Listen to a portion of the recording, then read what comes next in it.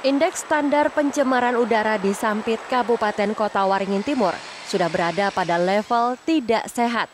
Karena itu warga diimbau untuk waspada terhadap penyakit infeksi saluran pernapasan akut atau ISPA.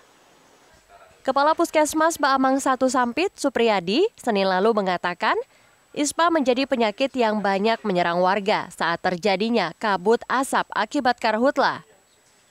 Penyakit ini meliputi radang pada rongga hidung, batuk pilek, radang paru-paru, radang tenggorokan hingga radang pada pita suara akibat menghirup asap secara berlebihan. Mencegah ispa akibat kabut asap, warga diimbau menghindari paparan asap dan menggunakan masker saat beraktivitas di luar rumah. Kondisi udara kita sudah masuk yang kurang sehat, jadi saya menghimbau kepada seluruh masyarakat khususnya uh, wilayah Kecamatan Bamang, wilayah Puskesmas Bamang 1 untuk tetap menjaga kesehatan apabila keluar ke jalan menggunakan masker. Untuk makan jangan sampai uh, keluarga kita atau kita sendiri pintar-pintarlah memilih makanan jajanan di luar.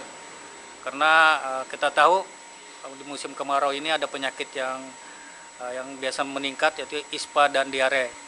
Biasanya dari tahun ke tahun yang kita alami, biasa kalau musim kemarau sering sekali terjadi peningkatan kasus, terutama adalah uh, ISPA. Selain itu, warga juga perlu banyak mengonsumsi air putih serta berperilaku hidup bersih dan sehat.